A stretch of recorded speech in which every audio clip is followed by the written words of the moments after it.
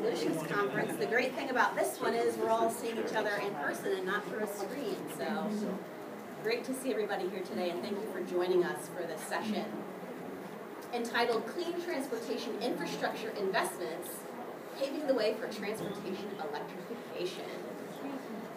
So I'm your host today, Jessica Wilcox, and I work with uh, the gentleman in the middle there, Tim White, over at the New Hampshire Department of Environmental Services as a transportation specialist and also as a coordinator for the Granite State Clean Cities Coalition. And that coalition works with fleets and towns and cities and businesses on transitioning to away from fossil fuels and to alternative fuels, like electric vehicles. And that's what we're here to talk to you about today. I have an amazing panel of presenters for you. And what I'm going to do first is just kind of a quick and dirty, let's get up to speed on, and on the same page about electric vehicles and charging infrastructure. Oh, of course, I hit the one that, hit the one uh, button on here that makes it disappear, and not advance. Just questions. Oh, question in the back. How many notes do we have to take? Do we get that these sessions? Yes, so this session is being recorded, Oh, so you you'll got be able to tune into that. So yeah, feel free to, you know, keep- put the pen down and tune in and not worry about taking too many notes. So I'm going to be the first presenter today, and I'd like to just, like I said, get everybody on the same page and, and find out what do you know mm-hmm. about electric vehicles and charging. Are you aware that electric vehicles are here, affordable, and economical? And, and electric vehicles, they're transforming transportation, right? This is a whole new way of thinking about how to move ourselves around. Today, there are actually 40 different models of electric vehicles just in the Northeast alone, and many more as we're seeing commitments from automakers coming to market, many more that are going to be coming online. Transportation emissions continue to be our largest source of greenhouse gas emissions, and electric vehicles are a tool in our toolkit for moving away from and decarbonizing our society. Significant investments are happening. We're going to highlight some of those investments today. And municipalities can help pave the way by thinking about purchasing electric vehicles and thinking about installing charging stations. We'll talk a little bit more about that. So I want to play a little game of name that acronym with you all. Anybody know what EV stands for? Yes. Excellent. How about PEV? Anybody on that one? Plug-in. Plug-in electric vehicle. BEV, B as in boy, EV. Battery electric vehicle. And PHEV. Thank you. So how many different types of electric vehicles are there? Anybody?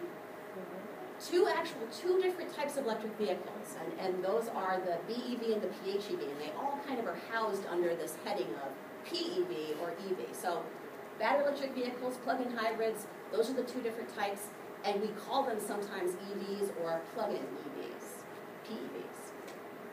So all electric vehicles basically run on a battery, powered by you know one or more electric motors. They can go 70 to now up to 400 miles of range. Thank you, Tesla. And there are dozens of different models available. Plug-in hybrid electric vehicles have both a gas engine and a and a, and a, uh, and a, uh, sorry electric traction motor. So that's what's powering the battery. So what will happen is you'll be driving on that battery when that battery charge runs out. It'll seamlessly transition over to the gas engine. You don't do anything about it; it just happens.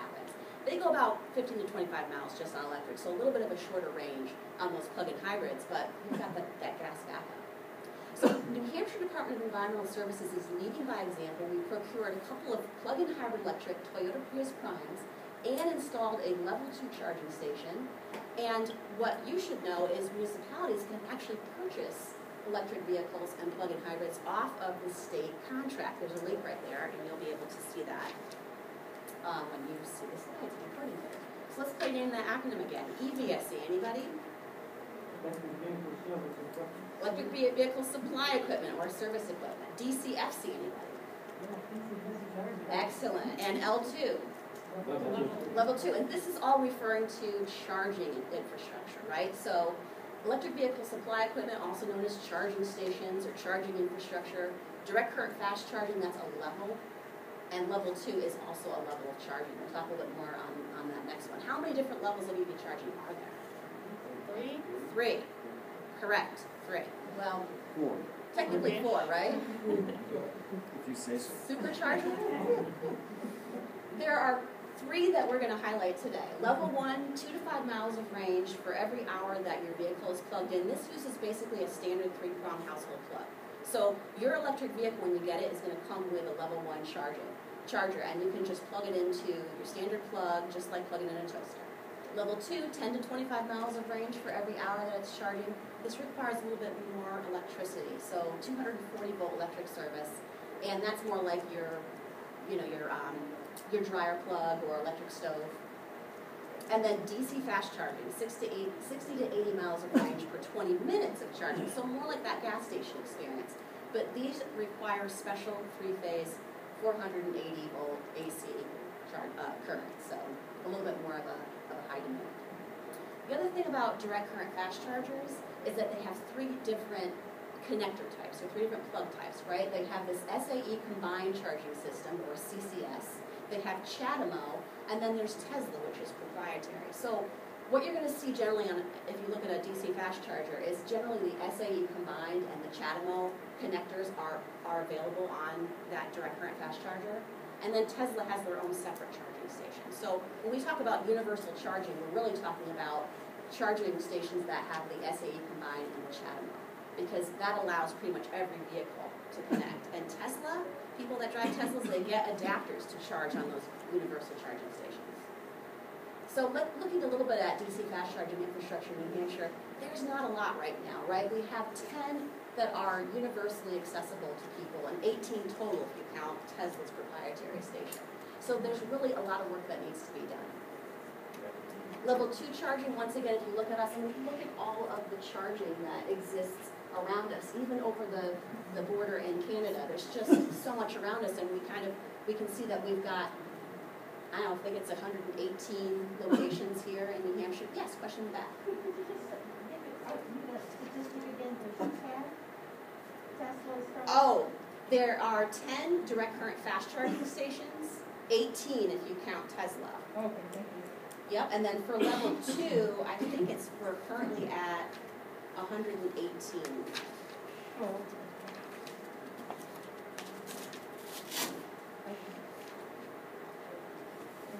You got it.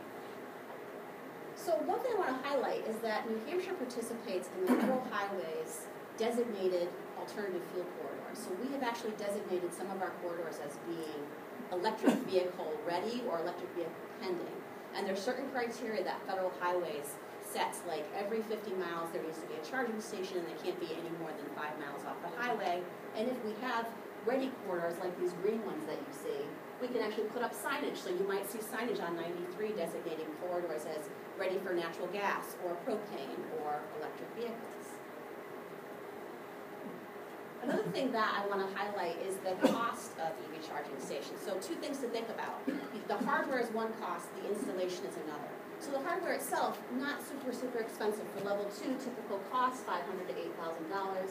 But those installation costs could range from six hundred to thirteen thousand because it's really about, are you digging up pavement? Like what is in the way of you getting that conduit and wiring installed to get the charger in? Same for DC fast charging. A typical charging station, fifteen to forty thousand dollars, but when you're looking at installation costs, they can range from eight thousand to fifty thousand. Now, if you're interested in fi- figuring out what might work for you, uh, there is a electric vehicle charger selection guide available through what is called the Alternative Fuel Data Center. And this is supported by the Department of Energy, which is supported by our coalition. A Couple of uh, ways that you can finance or fund these are through, one, federal tax credits. Federal tax credits are available for not just uh, electric vehicles, but also for charging stations. So with electric vehicles, if you've acquired one after December thirty-first of two thousand and nine, and it's full battery electric, you may be eligible for a credit up to seventy-five hundred dollars. If it's a plug-in hybrid electric, it may be around the twenty-five hundred uh, range. But it really comes down to the type of battery that the vehicle has. So there's more information on the alternative fuel data center. And then for charging stations, for commercial charging stations that have been installed, you can get a tax credit of up to thirty percent, maxing out at thirty thousand dollars.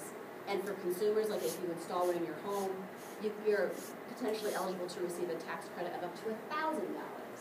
So, um, tax credits do exist, although can be challenging if, if you don't pay taxes or for like municipalities, right? Yes? So typically, charging station before, because a lot of people look at, uh, kind of anxious about driving an electric vehicle, but they don't realize that most of the car charging occurs at home, it's just that traveling, there is a kind of efficiency. So, what does it mean for a thousand dollar tax incentive in New Hampshire? Does it mean the electric vehicle putting in a car charger, you have to purchase like a full car charging station? Because we don't usually remind us to upgrade our electrical in the garage, put the, like, washer dryer plug, and then we plug in our charger at the end of the car. Is that count, is that eligible for a rebate, or? I think the level one is not eligible. I, Technically, it's It's a level two. oh, it is level two. It's just in your garage, it's not like a public. I don't have the de- the drill down details on that, because I have not applied for myself, but I would say, you know, there's a link at the bottom there. Jess, And if you there go, is a, re- there is a residential credit for level two. for a thousand dollars for level two. Capped at a thousand, thirty percent capped at a thousand, and it includes installing hardware. Okay, so that's what I was asking. Yeah, Thank the plug, Thank the you. plug may Yeah. be the question, but I Right. think you can get a, I, I think you can probably still qualify. Because you have, you have to update all that electrical in order to put it and that's what's really expensive about it. Right, so I think that also is part of the, part of what you could see. But I'm not an accountant. Mm-hmm. We always disclaimer, right, we're not accountants, but still, even so. Thank you. Now, if you're a member of the New Hampshire Electric Cooperative, if they're your utility, there are additional incentives, not just for electric cars, but even for electric motorcycles. And if you're a municipality or have a business, there's an incentive for installing an EV charging station. So pass that along to anybody who's a member of the electric co-op. The um, USDA has a rural business development program that's available to rural small businesses. And what I've been told is that you can apply this towards EV charging stations if you can show that it basically creates uh, a, a benefit to the workforce. So if you can get neighboring businesses to say, yes, we agree that this charging station being near our business is going to draw in, uh, you know, a, a solid workforce, then that you may be able to apply for funding through this grant. And that's coming up. So a couple of things I want to mention through the Granite State Clean Cities Coalition that I coordinate, which is supported by the Department of Energy, we have access to some great technical resources. So if you've got questions about a project, we can reach out to Tech Response. And worst case scenario, if it's something that you're really stumbling and you're, and you're actually inputting this project, we can reach out to Tiger Team. So a couple of things to keep in mind, reach out to me if you've got questions, and now we will transition to our fabulous panel. What if you're a, sorry, what if you're a school and so you don't get any benefit from tax credit? What, what if, so if a school, I'm I'm an educator, so if a school wants to do a climate action project and install EV charging, what's their best option? For schools, honestly, at this point, I'm not sure that there are any incentives available in New Hampshire that would be applicable. Um, but there is funding through the Volkswagen settlement that has been set aside for electric vehicle charging. And, uh, we're gonna hear about an RFP that recently came out that's using a portion of that funding. But there is still some remaining funding, so there may be opportunities down the road. So I would say if you can at least get the, the conduit and the wiring in place to be able to install hardware down the road, if you've got the means to at least kind of lay that groundwork for it, that would be the way to strategize moving forward on a project like that. Yes? Do you know if that um, tax deadline, the incentive deadline of twelve thirty-one of this year will be extended? I would anticipate that there's gonna be an effort to extend that deadline. It has, and sometimes it doesn't get extended, but it'll be retroactively, you know, like, we might not see it happen before this deadline, but then perhaps, you know, going forward. So I, I mean, obviously can't guarantee it, but I would, I would imagine we're gonna see that, yes. So, So, go ahead. so Yeah. right now, is there a path to get to that Volkswagen money for municipal incentives? I'm the energy manager of Housing in We're putting in six charging stations in our new DPW building. We're putting in two in our garages, and I would love actually be able to access that funding, but I no idea how to get to it. Yeah, so right now, the, the current RFP, Tim White's gonna tell you a little bit more about what that is. Um, you know, it- that project that you're putting in, I'm not sure that there's necessarily an incentive that would be applicable to that, if it's already something you've been working on, but stay tuned for more from Tim, and that might help you kind of figure out in your mind if it's applicable. Is this presentation available on the website? It's not currently, but I can make it available. Yes. And um, if you see, so one, I wanted to introduce real quick, in the back of the room is, is Mr. Jordan Mee. I'm sorry to put you on the spot, Jordan, but Jordan is interning with Clean Cities this year, uh, this semester. So he should be passing around a little sign-up sheet to make sure that you get your email on there, and I'll share this presentation with everyone. All right. So, as I'm introducing our next special guest, Tim White from New Hampshire Department of Environmental Services, I'm going to get his presentation loaded and give you a little bit of a um, insight about who Tim is. Real quick, he's Mobile Sources Section Supervisor for New Hampshire Department of Environmental Services. He is responsible for the supervision of programs including transportation planning, modeling and conformity, and advanced technology vehicle programs working with folks like me. He is also currently participating in the implementation of implementation of state mitigation activities utilizing New Hampshire's funding for the Volkswagen Environmental Mit- Mitigation Trust. Tim, over to you. Thank you. So, um, good morning, everybody. Um, Jessica asked me to provide a, uh, a short update on the um, Environmental Mitigation Trust uh, Direct Current uh, RFP, specifically where we are in the process right now. Uh, we released the RFP back on uh, September 17th, and um, we currently have a, an open question period that's um, in effect right now. We actually did a, a webinar online on, Wednesday for people who wanted to learn more about uh, the RFP itself. And so what I want to do today is provide a little bit of background information. Um, I'll talk about a couple of different things. I'll talk about the Volkswagen settlement, although I think by this time um, most people are pretty familiar with the Volkswagen settlement, so I'm probably not going to spend an awful lot of time talking about it. We'll probably just try and focus on, on the RFP and make everyone familiar with that. So I'm also going to provide some information on specifically what we're looking for in terms of the, uh, the RFP itself. So there's uh, an outline for today's session. As I say, I'm not going to spend a lot of time talking about Volkswagen. Um, I would like to talk about, though, um, a little bit of information pertaining to uh, DC fast charging in, in the state of New Hampshire. I'm going to provide a lot of details on the, um, on the RFP itself. And then, as Jessica mentioned, I guess we'll have time for, um, for a couple of questions right after the presentations. Here's the timeline. Um, the RFP was issued on the, uh, the 17th, as I mentioned, and we have an open question period at the moment. And I did mention also the, uh, the informational session, which was on Wednesday. So that question period is going to remain open until uh, October 20th.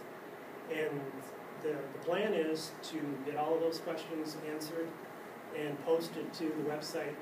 And we're going to try and do that by uh, November 3rd. The, um, the proposals are due January 7th. Although somebody pointed out, uh, somebody with a very keen set of eyes pointed out that we had the wrong date in there during the presentation that we did on Wednesday, but the date the proposals are due is Friday, January 7th. So um, I also wanted to mention that this is a, a competitive grant program. Selected applicants are going to be required to enter into a contract with the Department of Environmental Services.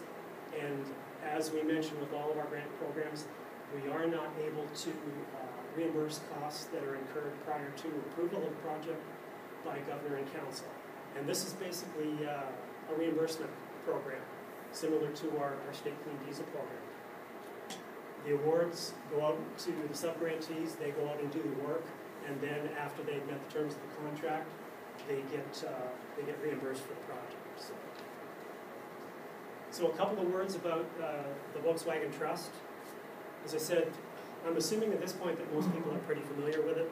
So just for the record, um, the Environmental Mitigation Trust was the result of a uh, settlement between the, the U.S. government, the state of California, and the, uh, the Volkswagen Corporation uh, related to um, violations of the Clean Air Act and illegal levels of, of nitrogen oxide in about 580,000 um, model year two, uh, 2009 to 2015 2 and 3.0 liter diesel engines.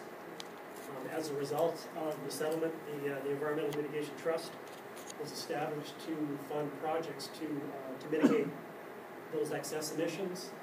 Uh, New Hampshire became a, um, a trustee of, of the settlement in January of 2018. Our allocation is about $30.9 million. Uh, Department of Environmental Services actually became the lead agency for the settlement um, a little earlier this year, replacing the, uh, the Governor's Office of Strategic Initiatives.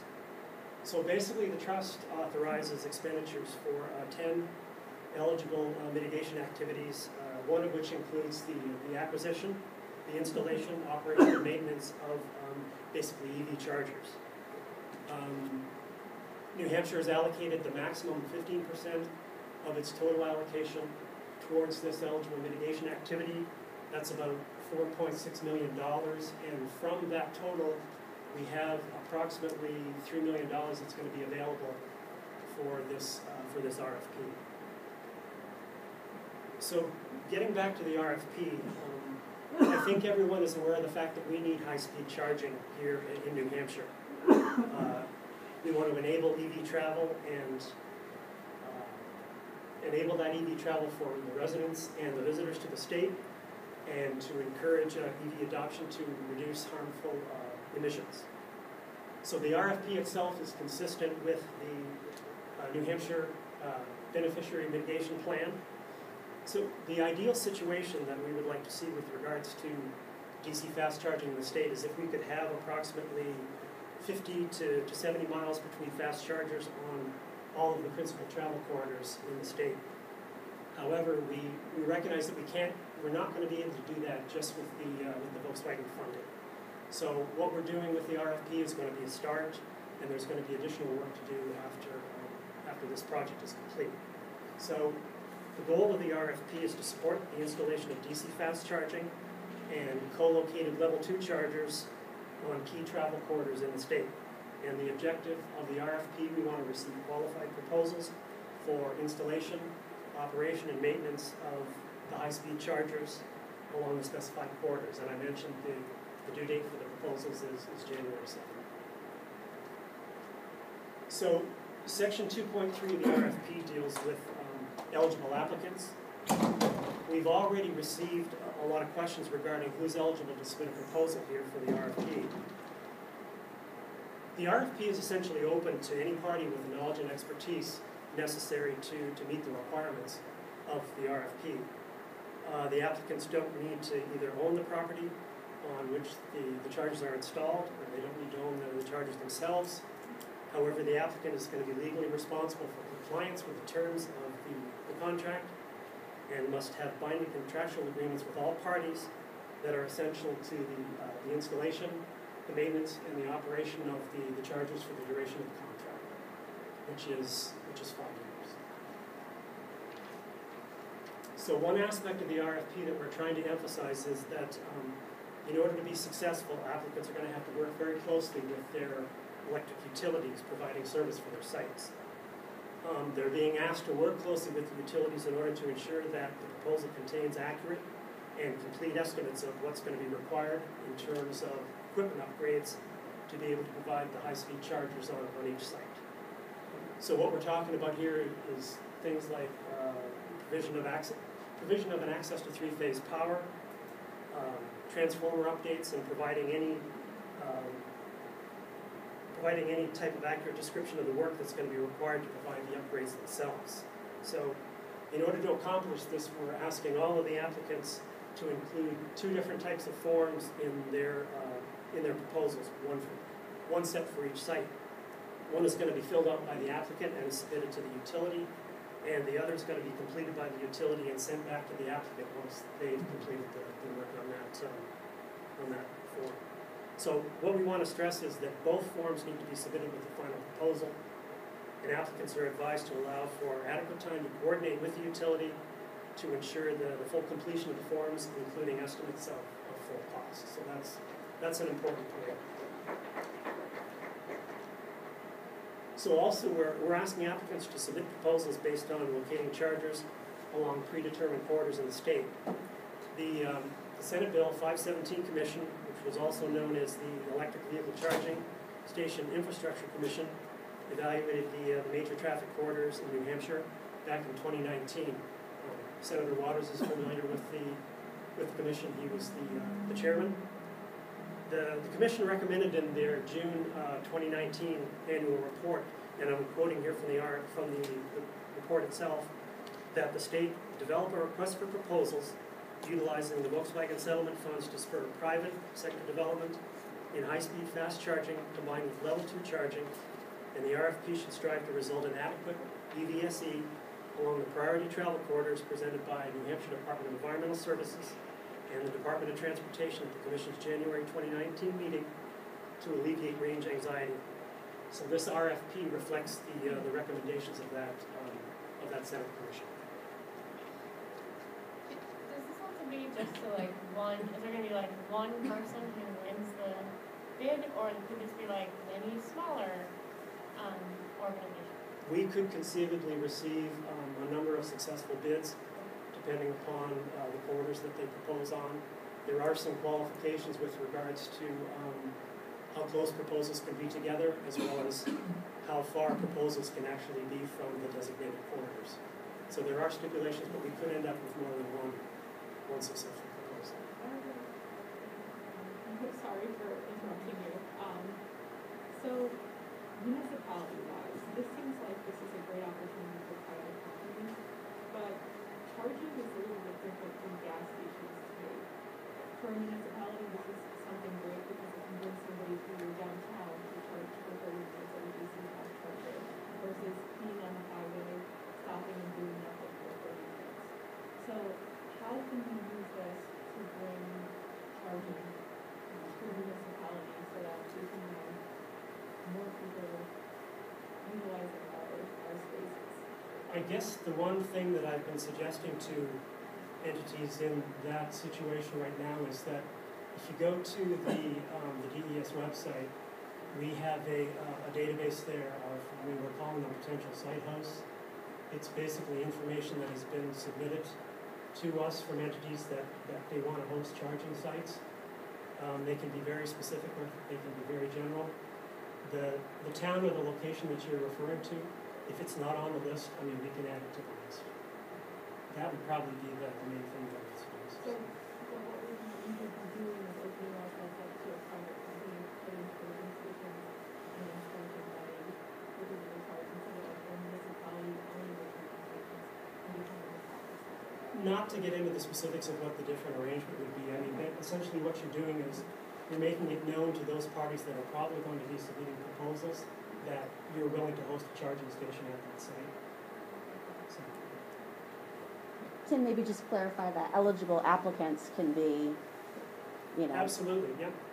Um, I'm, we're probably gonna be receiving proposals from a lot of different types of teams. Uh, Heading the proposals could be, um, the people that own the property, the people that own the chargers, the people that operate the chargers. So we don't really have any specifics with regards to what we're gonna see in terms of proposals. So going on to the, uh, going on to the next slide. um, Where applicants uh, to the RFP propose a charging station on sites or sites, uh, properties not owned by the applicant, we're asking that uh, binding site host agreements have to be secured and provided to the state. So section four point three of the RFP provides a lot of information about what needs to be in these agreements. Also, um, in order to facilitate the process and respond to requests to host charging facilities, is that uh, database that we just mentioned uh, as a part of that answering that question.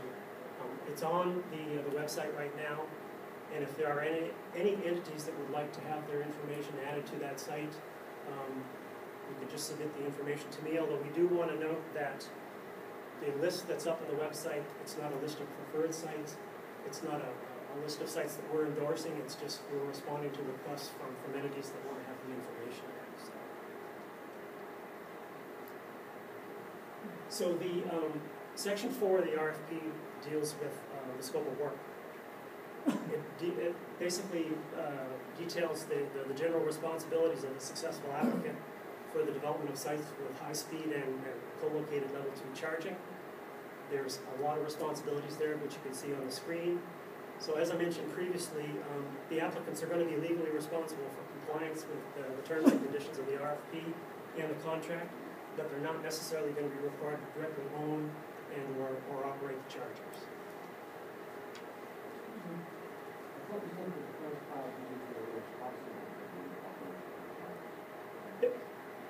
Well, no, that, I was, what I was mentioning there was like the, the contract, the original contract is gonna be for five years. Whatever the arrangement between the parties is, it has to be maintained for five years. Irregardless of of what the, uh, the operational model for the chargers is. Yes, Just to clarify, so a town or a business or the installer could own the charging infrastructure in, conceivably. yeah. Yeah, we expect to receive any one or a number of, any one of a number of types of different, uh, different operational models for, for the sites. This is just a slide basically showing what needs to be in the, uh, the application itself. I know it's, it's a lot of information, and we're anticipating, as I said, proposals from, uh, many different types of, of project teams. And, um, so that's basically there's a, uh, a specific section in the RFP that details what needs to be required for each type of, uh, each type of information that you see on the screens. And then we've got, um, evaluation criteria that we're gonna be using to, uh, to score the proposals. You can see the, um, the criteria include uh, the proposed solution, the cost proposal, experience and qualifications, personnel, support services, references, experience with state government projects, and other New Hampshire benefits, which include things like um, measures proposed by the applicant to deem additional value to the state of New Hampshire, um, possible environmental impacts beyond the benefits of supporting EV travel, or additional economic development associated with the charging stations themselves. So that's what we're going to be using to, um, to score the proposals. There's the, um, the website where you can get all of the information about the, uh, the RFP. There will be additional information that will be added to the website as the process goes on, and I think the next slide is just my, um, my email. As I said, uh, specific questions with regards to the specific points of the RFP. Um, I think it's section one point three of the RFP basically state that those specific questions need to be sent directly to me. And the reason that we want to do that is because we want to be able to formulate a proper response for the question and then put the information up on the website so that everybody has the same access to all the information. So that would be the, uh, the procedure for that. Is there any provision for level two charging in this RFP opportunity? The RFP specifically states um, that the sites have to include uh, DC fast charging and co-located level two chargers at the site. I mean, you can deviate from that, but you have to provide justification, but there are a lot of details in the RFP about the specifics of how the chargers have to be sited at, at the, uh, at the specific locations. So it will likely be both. Yes, Okay, that's Likely. great, thank you. For the sake of time, I, I hate to do this, but I think we should move on to the next presenter. Thank you so much, Tim White. And Tim's going to be here for a little bit afterwards. Um, I'm sure if you've got a question, you can um, check with him on that. We We, yeah, this is recorded. Um, Tim, do you, we'll see about getting them posted. Yeah, I think that probably is something we can, I think, yeah, they're already posted. All right, so our next presenter today is going to be, speaking of utilities, Brian Morris from Eversource. I'm going to get your, um, Do you want to just do the slides? or- yeah, I'm going to go right to the slides. Brian is the senior business analyst on the Clean Energy Strategy and Policy Group for Eversource and partners with state agencies, regulators, and other stakeholders to develop EV charging infrastructure programs, accelerating deployment throughout New England. Brian, thank you for being with us today. Excited to hear from you. Thank you, Jessica, and thank you, Tim. That was a very helpful kind of framing up of the RFP. I'm going to talk a little bit about a proposal that Eversource has in the state to support that RFP. Um, so a couple of quick things I want to do in the next couple of minutes here. One is to talk about some EV-specific things we're doing in the state of New Hampshire. Uh, we get asked a lot about what are you doing elsewhere in different jurisdictions, so talk through some of that activity as well. Very quickly, Eversource is a large utility company in New England, serves about 4 million customers across our service territories in Massachusetts, New Hampshire, and Connecticut. So, um, back in April of this year, we proposed a couple of different programs that are kind of separate but related. Um, an infrastructure piece and a rate design piece.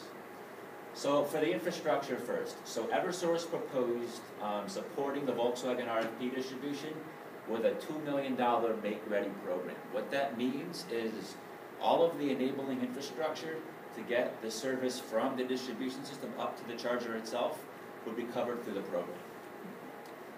Um, the rate design solution, so we proposed a demand charge alternative rate design. So basically, with DC fast charging specifically, um, one of the issues is that they're high capacity draw, low utilization machines.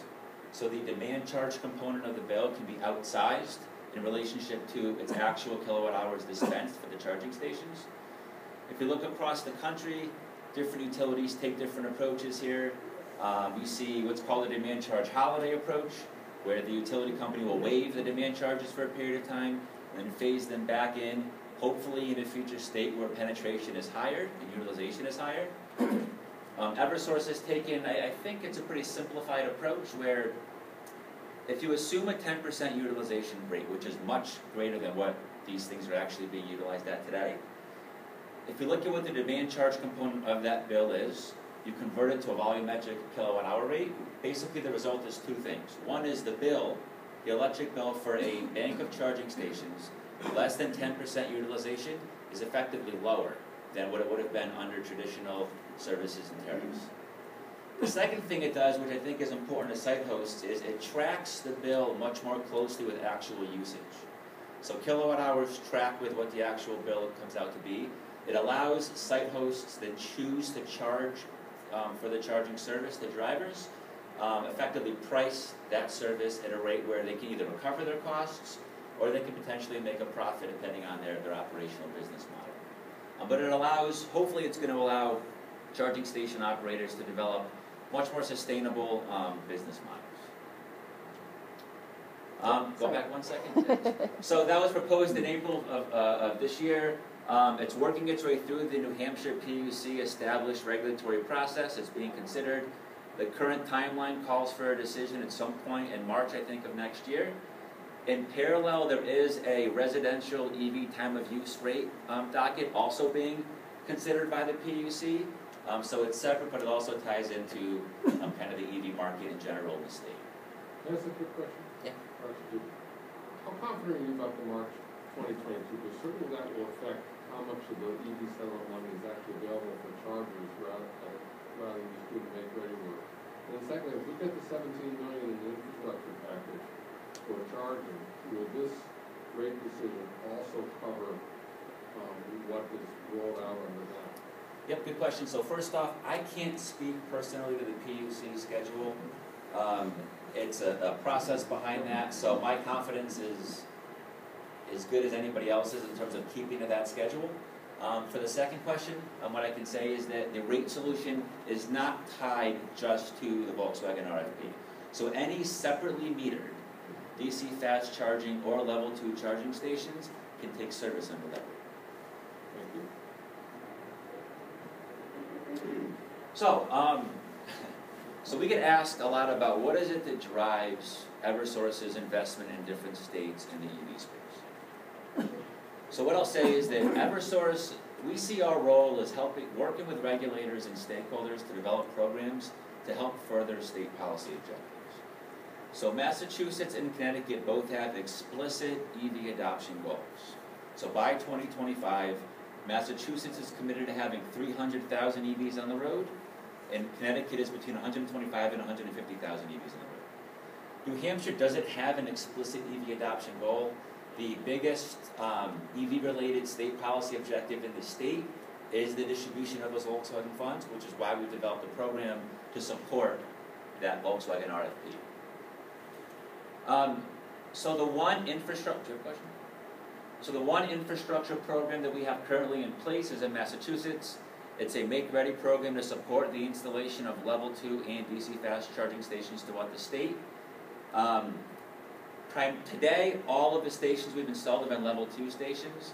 DC fast chargers have a couple of different obstacles. One is the rate, which we've talked about, which there isn't a solution currently in Massachusetts.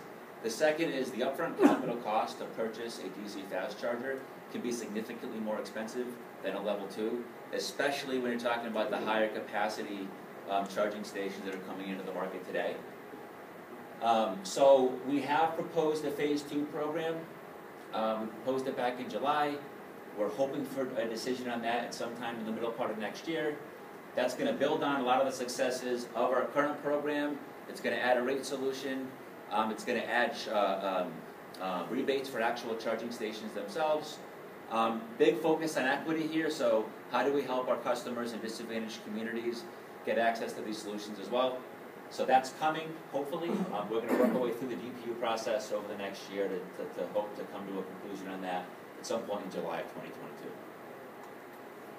Um, Connecticut's taken a bit of a different approach, so as opposed to asking the utility companies to come forth with actual proposals, um, over the past couple of years, PURA has been working with uh, the utility companies and other stakeholders to develop a framework for a statewide EV infrastructure program. They want a kind of a consistent customer experience. Um, we're working through the details of that now. The utility companies, so Eversource and Avangrid, are gonna be the joint administrators of that program. It's expected to kick off in January of twenty twenty-two. It's gonna look similar to our phase two offering in Massachusetts. Um, it includes a residential component as well, so rebates for residential chargers and, um, incentives to participate in an active, uh, managed charging program. Um, so that's coming. Um, again, that was more of a statewide approach. In Massachusetts, Eversource and National Grid proposed similar programs with some different components. So a couple of key differences in how those states are going about achieving their goals. Question, Brian, on Sure. Connecticut, what does that mean, a statewide approach to charging for the driver? Is that like the same network, or can you talk to us? Yeah, so it's more, I think it's more for, um, also from a site host perspective. Um, what they don't want is site hosts, so let's say you- you've got a, a couple of locations across the state in different service territories. Having a consistent approach to the rebates and incentives and process that site host would use to get access to this funding. Um, I'm gonna actually say for the sake of time, we're gonna have to Okay. hold questions, but Brian's gonna be here for, look, for, are you I'll be here for a little bit afterwards to answer any questions. Thank you so much, Thank you. Brian. Up next, thank you. Up next, the gentleman that asked the last question, Mr. Barry Woods. And Barry is the Director of Electric Vehicle Innovation for ReVision Energy. Barry offers consumer education, why he's here today, sales, marketing, and business development expertise to assist customers in making the right decisions when it comes to charging.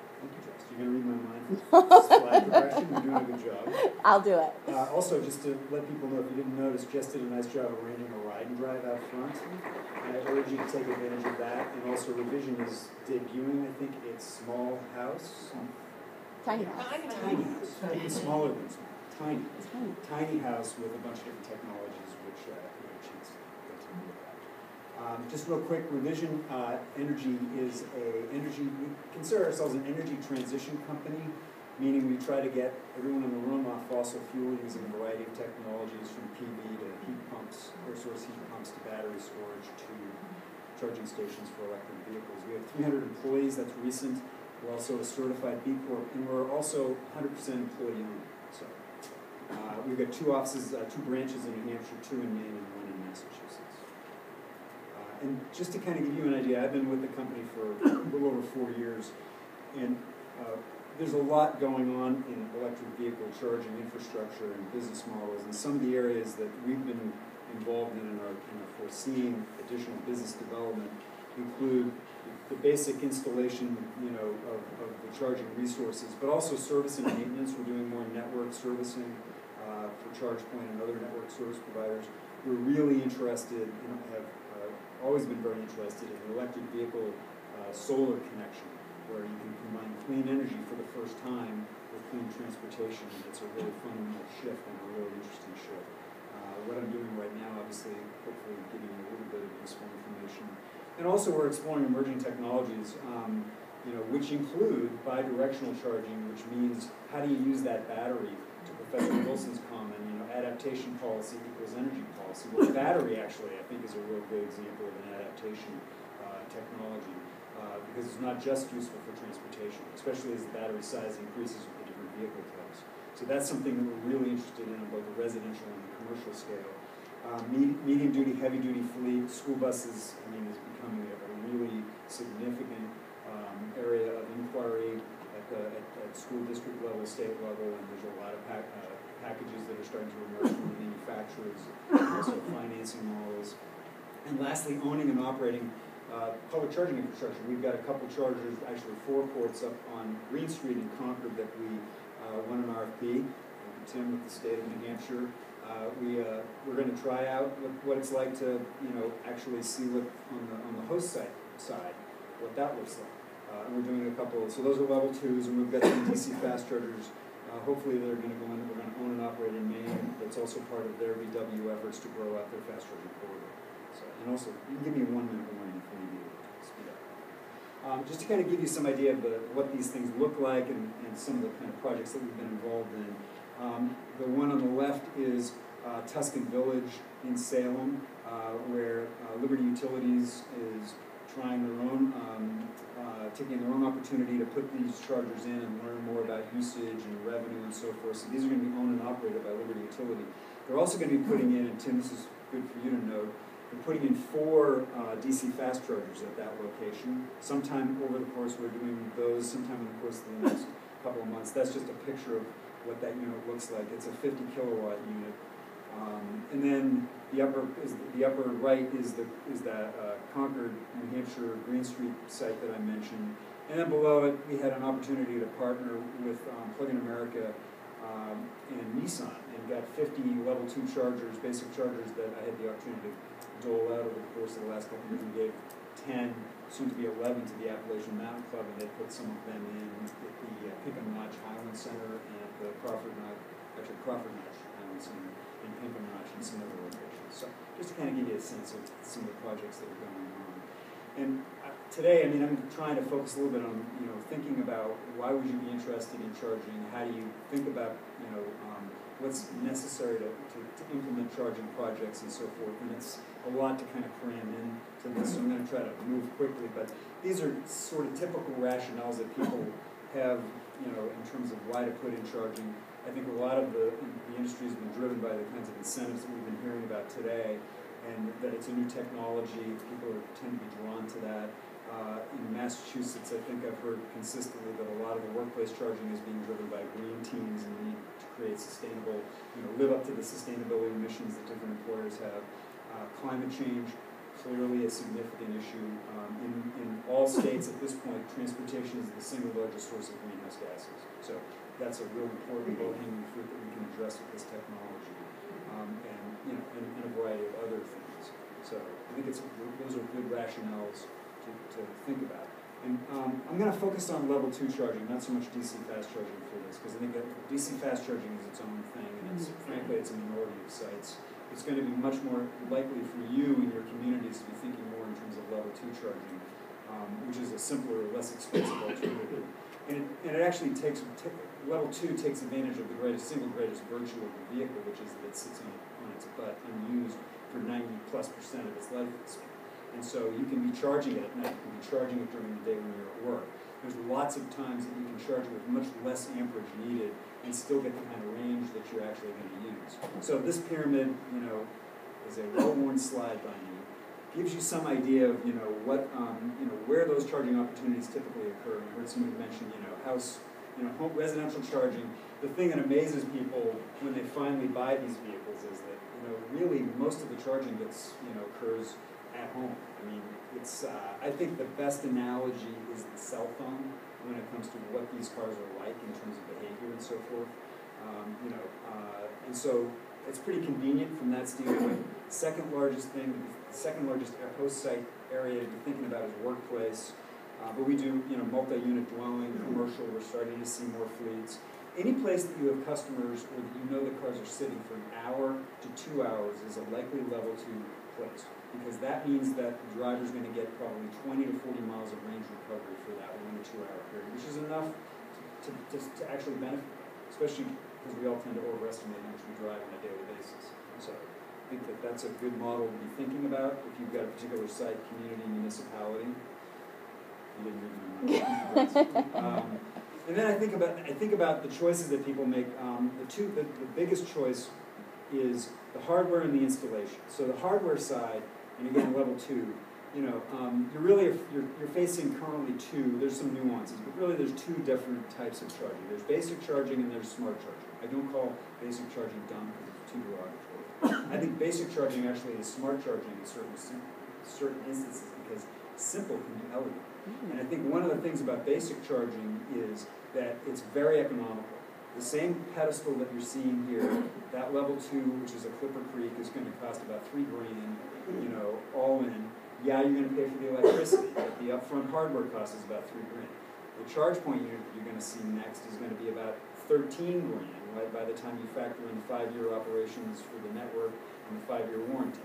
But you can collect revenue from it. So the key is thinking about what's the purpose of the host site. Are you there to attract drivers, to have them provide economic benefit to yourself?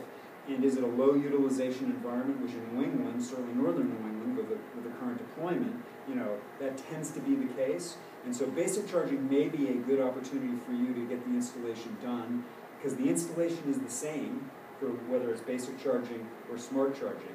There's cellular connectivity that's a factor that, you know, you need to think about, but, you know, generally we get pretty good cell service these days. So low utilization, basic charging can actually be a good alternative.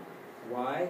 Because it costs about a buck an hour to charge a car on a 40 amp uh, charger uh, for at the maximum output. Uh, and so it's not a very expensive form of electricity, which is another one of the benefits. So it's not the, the, the differential cost, there's a ChargePoint charger, the differential cost you know, is pretty significant between smart and basic charging. So what I like to say is put it in the basic and see how the utilization goes, and if it grows a lot, you've got, you've got then demo- demonstrated evidence that maybe this is a good site to put in smart charging. And you don't have to do anything, you've already done the installation. So that's one approach. The other approach is if you know that, you know, you're in a high-use environment or it's public charging and you need to control access, because you don't want people to be camped out sucking down your energy for free who may not otherwise be benefiting you. ChargePoint units or smart charging units, there's a full variety of network uh, hardware manufacturers are really good options. Um, yes, they're more expensive, but you also get a tremendous amount of functionality. I mean, you can have drivers reserve in advance, you know, the charger if they're on a trip, so they know that when they get there, they're not going to be locked out. Um, you can monitor it via a dashboard to see exactly what the usage rates are, you know, uh, how much electricity is being doled out per charging episode, et cetera, et cetera. So it's a really good way to monitor charging. um, and then this is the last slide. I mean, I think um, the host the host sites we typically look at, we do a site visit. We think about, you know, hopefully we have that discussion with you about the hardware because I think that's a pretty critical part of it. But the installation is actually tends to be the most expensive area. And what we what we look at typically are the electrical uh, the electrical situation. Uh, you know, traditionally we try we've tried to look at the pre-existing electrical and see if we can find additional amperage. What we're finding is that the chargers, the world seems to continue to want to go faster, bigger, stronger. Not necessarily a good thing, and I'm somewhat skeptical about that development in the level two world. Our, for us, the 40 amp per port circuit has kind of been the sweet spot for most of these cars. Most of these cars can charge on that overnight if the battery is totally tapped. The battery's size is increasing. You know, you get the Ford F-150 Lightning, and I think now they're touting, I don't know what they're touting, 100 amp or. I mean, it's a lot of electricity, and it ignores, again, the virtue of the fact the car sits unused for long periods of time. So, you know, we are seeing, though, that we're putting in more chargers per site, and it's really hard to find in a pre-existing service adequate electrical capacity. So a lot of times, you get to that fork in the road and we're finding it's a new service. Typically, you start at a 200 amp. Maybe you go to 400 amp if you're thinking about future proof. If that's one of those forks in the road, if you're only doing one or two ports, I think we can find probably pre-existing service capacity. But if you're thinking longer term or you're thinking more ports, it's tending now to be much more of a question of new service. And the cost of the new service is very utility centric, and a lot of times in Maine, for example, where we've been doing a pilot with uh, Central Maine Power, the new service is actually very economical because that particular utility wants you to put in a new service and, and, wants you to get more electricity. Kind of makes sense. So they make that single phase new service pretty economical under most circumstances. And sometimes it's even more economical than upgrading an existing service because the, the utility bears the cost. So that's something to think about. The other things to think about is, you know, I mean, the conduit, you, you're always trying to figure out the best location for parking relative to the best, relative to the available electricity. A new service means you can sometimes bring that new service to what would otherwise be a really expensive parking spot if you have to tap, try to tap pre-existing service, so that's another advantage. But that's part of the dynamic that you need to be thinking about. You need to be thinking about, you know, how many spaces do you want to dedicate, you know, to, to charging? And it used to be a very skeptical, you know, uh, landowner thinking about giving up spaces. I mean, I, I could not get uh, Whole Foods in Portland to give up any parking spaces because they were like, why wouldn't we want to give up a parking space that's worth three hundred bucks an hour to have it sit there unused? Now, that's a reasonable argument up to a point. But two weeks ago, um, some of the data points that came through, I think Atlas Policy, the United States for the first time passed four percent for um, plug-in vehicles for all new car sales, four percent. And in California, it's ten percent. So whether you're thinking that maybe these spaces are gonna go unused now isn't the, isn't the right question. I think what you should be thinking about is this thing is coming and the momentum is building. And when you ride the, drive the cars today, you'll see why. And it's really good to be thinking ahead here in terms of what your business is, what your municipality needs are, et cetera, et cetera. So, anyway, this is just kind of gives you some idea. I know I didn't have a lot of time, but I'm happy to answer questions offline. Thank Uh, you. and thanks for Yes. And IRS Form eighty-nine eleven is the one for the EV-related charging infrastructure, uh, residential, and that'll you the. Thank you so much, Barry. Sorry to have to rush you guys. I think I spoke too long in the beginning there. Up next is going to be a gentleman representing the city of Dover. And now we've heard about some investments that are happening here in New Hampshire rel- relative to EVs and EV charging. I'd like to highlight an example that municipalities can kind of take in and learn from in terms of how do we invite these investments to our communities. So Jackson Kaspari is the resilience coordinator for the city of Dover, New Hampshire, and recently entered this role, but previously has worked with the city in various capacities as a University of New Hampshire Sustainability Fellow. And I will turn it over to you, Jackson. Thanks, Jessica. Probably have a case of uh, mask mustache. Um, I appreciate everyone being here today, and I'm happy to talk to you about some of the work I conducted as a planning board member actually in Dover as part of an electric vehicle charging uh, subcommittee. I'm now in a full role with the city as a resilience coordinator, but just sort of paved the way for some of the work I do now. So just a very brief outline of what I'm going to be talking about today. Um, so in order to convince the planning board to adopt some of these uh, proposed uh, changes to our site review regulations, I presented a series of analysis that I conducted as part of some independent research. So I'm briefly going to go over the analysis that I use, and then I'm going to talk about the actual amendments that were passed by the board. So the first thing I wanted to look at was the number of electric vehicle supply equipment plugs uh, in proximity to downtown Dover as a centralized location. And I used a Google Maps API to do this analysis, and that's incredibly useful because you can pick one location address, and then you can have Google Maps simply do a calculation to any number of addresses, and it will give you, you know, the basically the shortest distance route in between them. So for working with mass data, that's that's really useful. So you can see I, I bin them into really three categories here.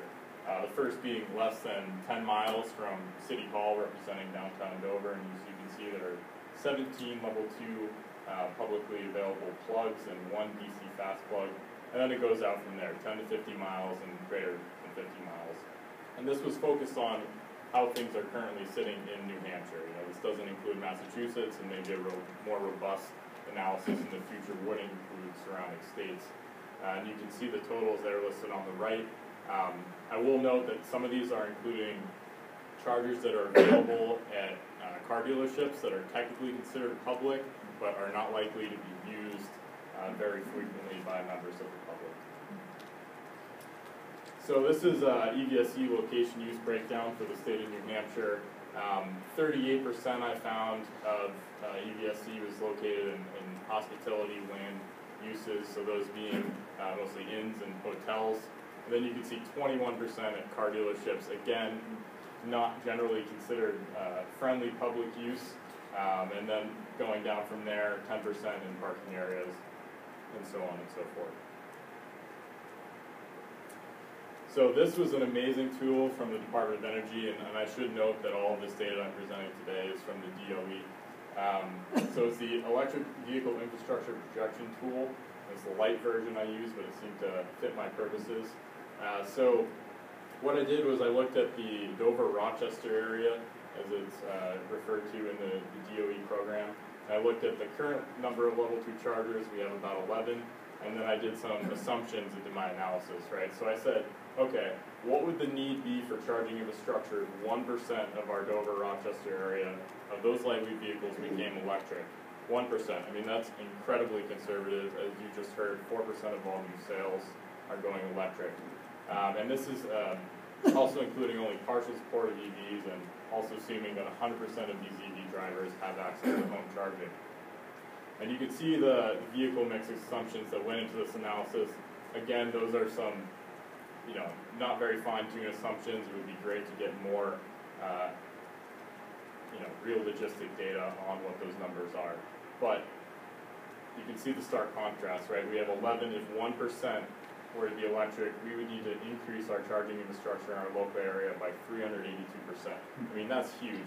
And Dover has a real opportunity, I think, in surrounding communities to make a big dent on this 382%.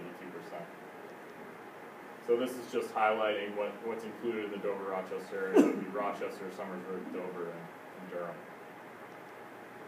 So then I did the same sort of analysis just on a, a statewide basis. You see around 200, there's 197 uh, technically considered public level two charging um, plugs available in the state. Uh, and then statewide, with the, the same exact assumptions that I used on the more local Dover level, um, DOE says we need to increase our infrastructure by 207%. So the state as a whole is actually doing a bit better than we are in our, our Dover area. So I'm really hoping to, that these amended regulations help support um, some more charging infrastructure. And just briefly, this is mentioned all the time, but the transportation sector, as you know, in New Hampshire is our biggest greenhouse gas emitter. Um, and because the grid in New Hampshire is relatively clean, we have a lot of nuclear energy. Uh, all electric cars produce about a thousand pounds of carbon dioxide equivalents annually, and you see gasoline cars produce, you know, and surpass 10,000 pounds of CO2e per year. So over 10 times uh, increase, and with plug-in hybrids and hybrids falling in between the two. So now let's talk about the actual amendments that occurred to the site review regulations in chapter 153. So uh, under the site plan review, we have now designated that um, all new projects, um, multifamily and non-residential projects must provide some amount of EVSE readiness so for multifamily residential, we went with a five percent number of the total number of new parking spaces. Um, and there's a minimum of one, you know, one readiness space that has to be provided. And for non-residential, we went with a two percent number. And these are pretty conservative and they're, they're starting values. Um, on the west coast, these, these numbers are much higher for other municipalities. Sure.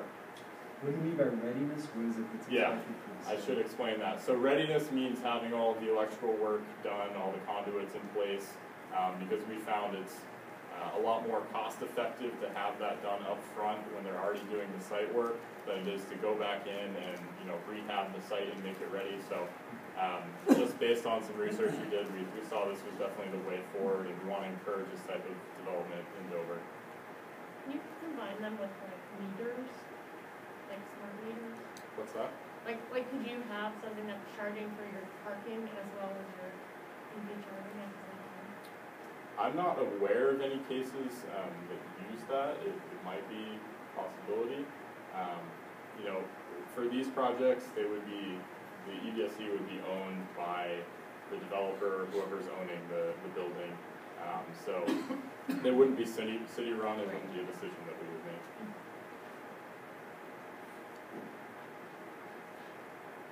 Okay, so then we, we also made some amendments to the conditional use permit process. So in Dover, we have a real problem with impervious surfaces, um, and that obviously is a huge issue in terms of stormwater runoff and our nitrogen impacts to the Great Bay.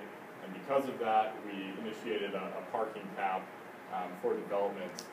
So we're basically you know, changing our CUP so that applicants can exceed the parking cap that we designated, but they have to provide a, a trade-off, right? So for uses that typically result in at least two hours or longer, and that would be determined at a planning board level, um, the applicant would have to provide one level two commercial electric vehicle charging station um, for every ten spaces uh, over the parking cap that we've designated. So you can see I've summarized that there, and you can show the, the next one.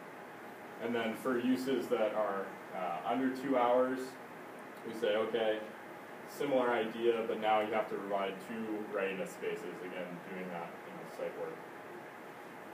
How well accepted is that? Uh, so far, it's been very well accepted. Um, nobody's challenged us on it yet, and we certainly consulted our, our legal staff in, in coming up with these. Jackson, So, thank you so yeah, much. happy to take questions at another point. I know we're running out of time. I also have business cards if anyone wants to touch base after. Thank you. Jackson, are you here for the duration of the conference?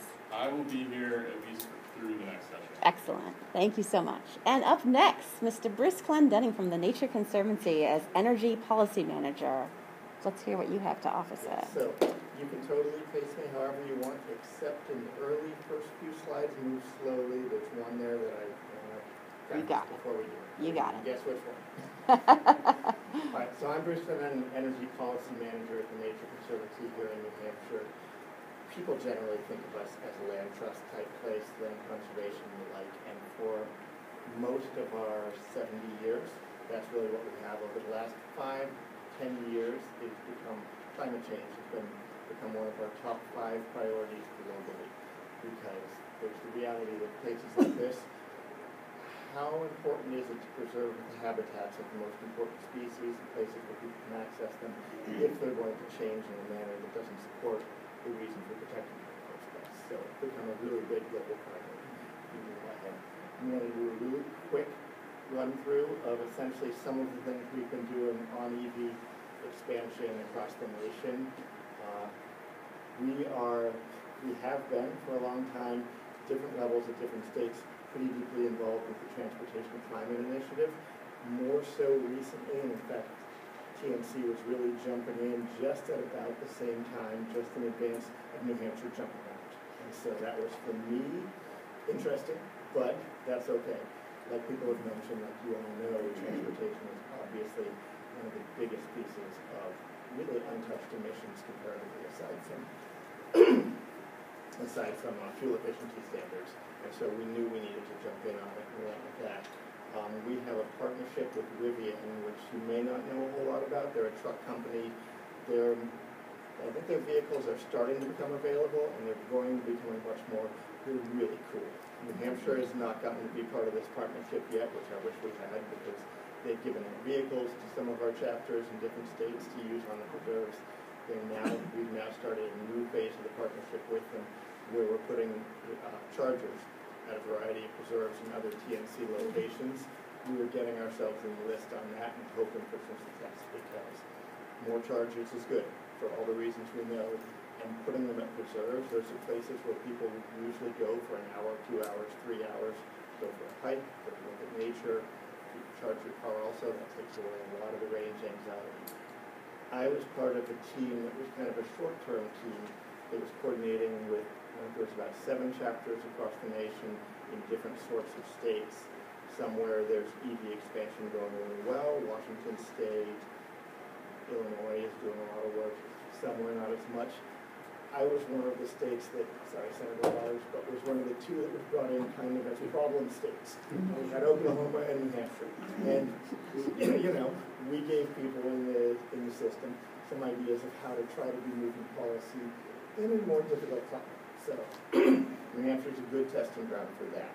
We haven't got a lot done yet, but we're working on it in a lot of these fronts. So that leads to, we've done a few partnerships in different ways with the Northern New England chapters. Maine, and Vermont, and not necessarily, Maine was until recently another problem state, very less of a problem state now. Vermont, you've seen the maps, there, lots of green on there, that's awesome. And so what we wanted to do was kind of look at rural customers specifically, and looking at rural regions of northern New England where we thought the challenges for EV ownership, they may or may not be really as hard, but we knew that the perceptions were probably going to be at least as hard, if not more, than a lot of other places. A lot of people don't focus on rural areas.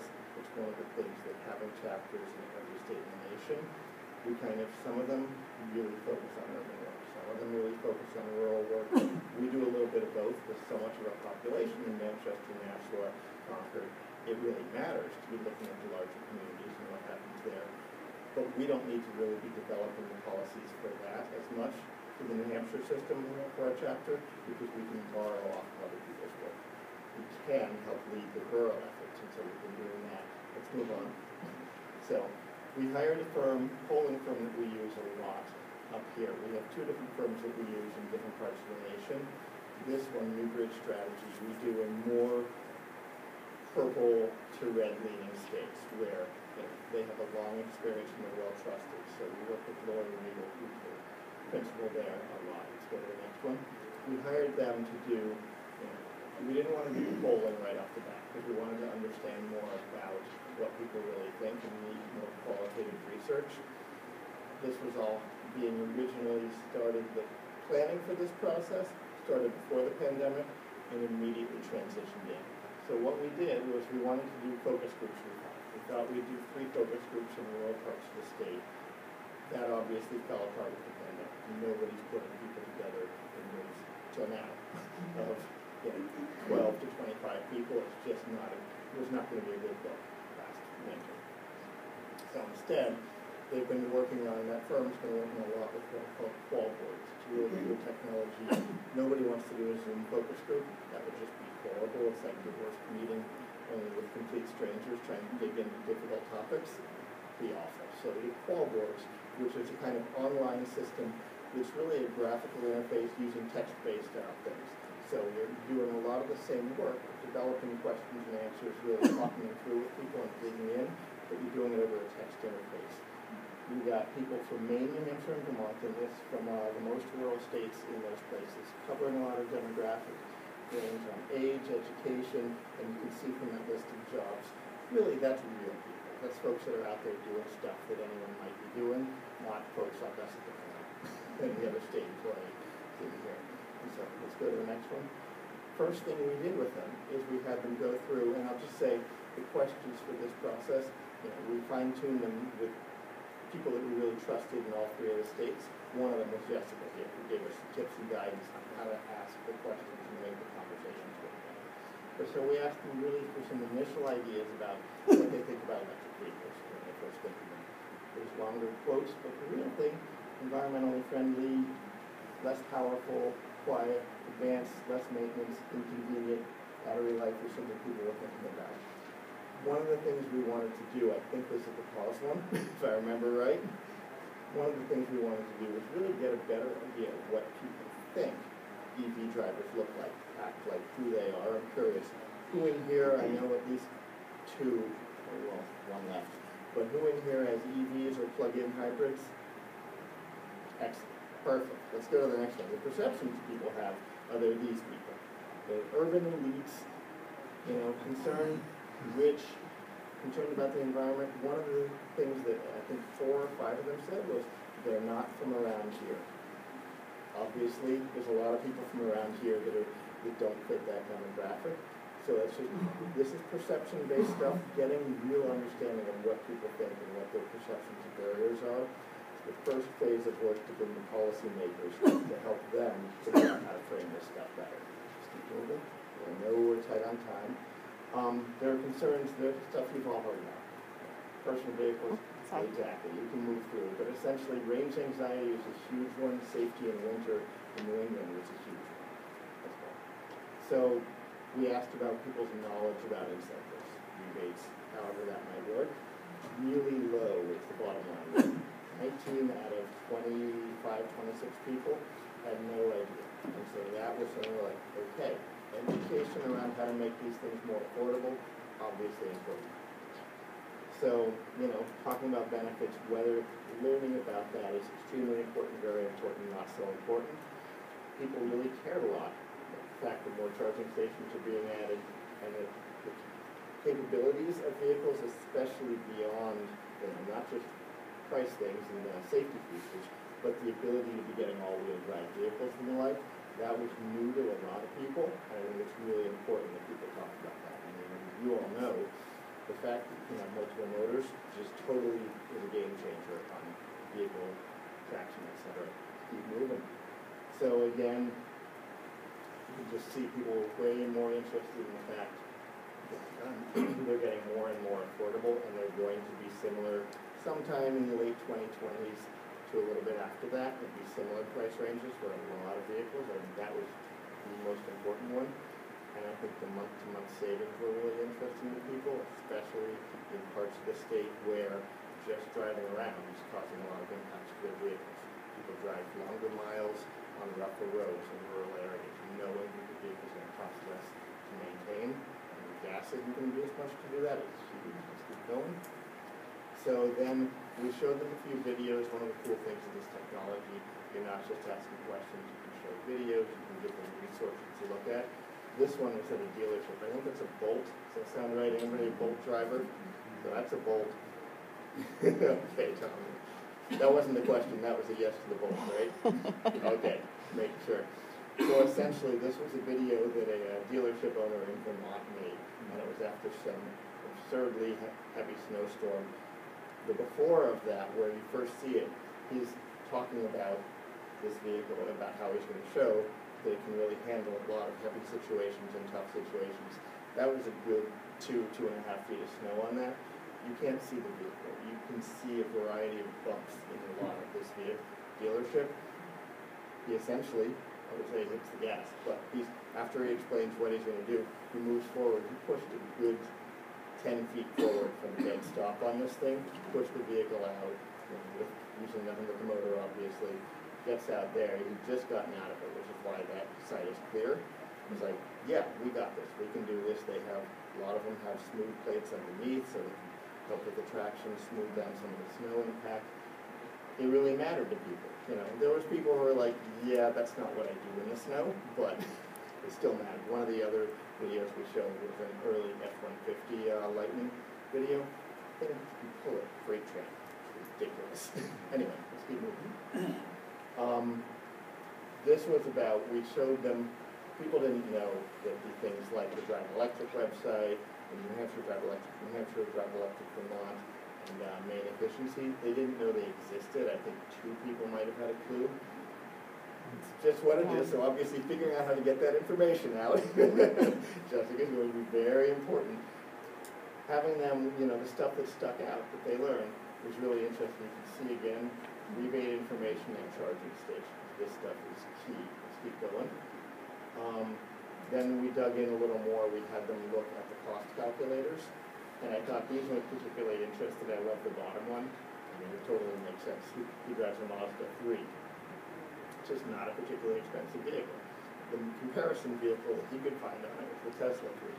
He would save five, six hundred bucks a year, but you know, it wouldn't be fifty years, he got that number wrong, he was exaggerating.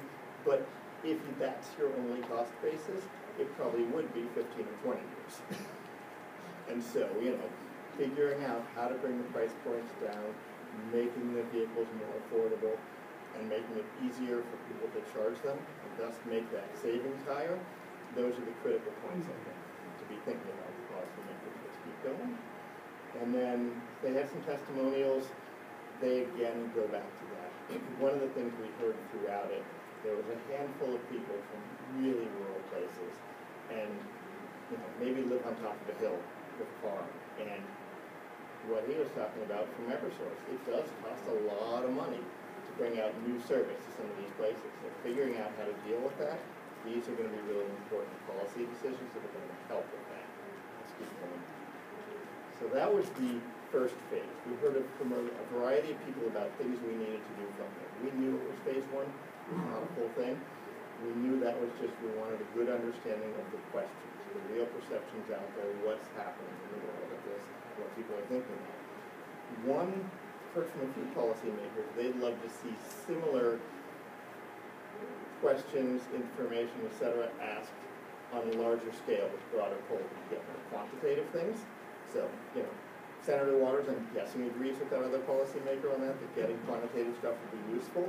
We try to figure out when we can do that, it costs a lot more money to effectively than it does to run qual boards. So we do phase one first and figure out what to do. The next phase, we hired a EDIC that you heard about earlier, if you didn't already, already know about that, to do a much bigger project, ongoing. We were hoping that by now, we would have a complete project and I'd be presenting on the findings of that rather than the findings on phase one.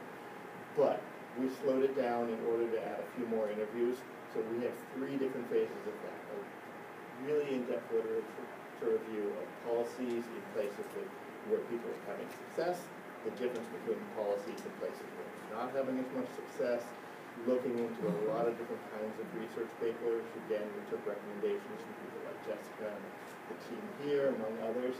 We're doing key stakeholder interviews. In all three states, we're doing things, utilities, state agencies, car dealerships, uh, various different groups out there. There's a tribal one happening in Maine where they have a lot more going on with the tribes, so figuring out the equity questions around that and how to expand offerings in places like that. There's a variety of different things. That's what slowed us down a little bit now, but they're almost done with those interviews. We actually slowed them down for a Concord dealership here in New Hampshire. Amanda Capone was, had to be a way but we knew we wanted her interviewed because she's trying to do more vehicles and she isn't always able to sell more electric vehicles. And that's an issue, so having a good understanding of what that's really all about from a sales perspective, really important to help figure out how to get through these things. After those are done, in the next week or so, they're gonna really dig in for the next three, four weeks to build that policy toolkit for us, give us the messaging pieces that'll be helpful, help us figure out how to move forward. So stay tuned for that. And that, did I pull it in in ten You minutes? did. All righty, Excellent. there you go. Thank you so much, Bruce. Well, everybody, thank you so much for giving us a little extra time here. Thank you to all the